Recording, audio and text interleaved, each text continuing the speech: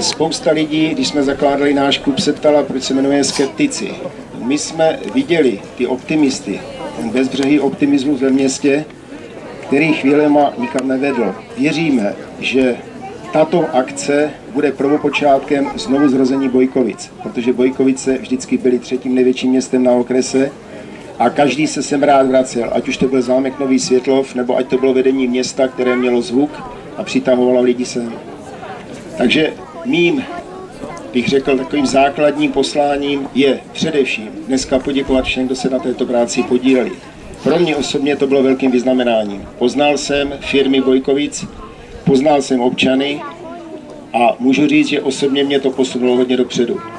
Protože vím, že starosta dneska má na území města takovou sílu, že když to dokáže zvládnout, dokáže pro toto město udělat velmi hodně. Je potřeba pouze využít tu iniciativu lidí a správným nasměrováním tuto iniciativu potom zužitkovat.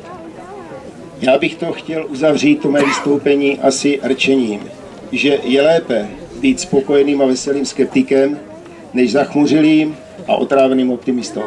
Proto, vážení přátelé, děkuji vám všem, kteří jste se podíleli na této akci a věřím, že vám to budu moct někdy vrátit. Díky.